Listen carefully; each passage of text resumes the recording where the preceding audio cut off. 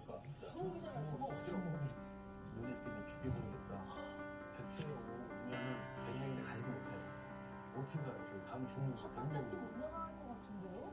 저희들 막 무기 갖고 다니고 저도 이제 형사생활하면서 저는 걸 처음 봤습니다. 실종자는 수십억 재산을 가지고 있는 재력가로